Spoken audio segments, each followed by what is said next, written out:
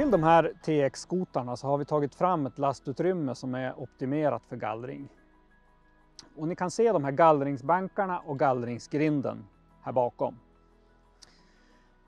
Gallringsbankarna är gjorda med, så att de är vinklade inåt mot maskinen med 5 grader.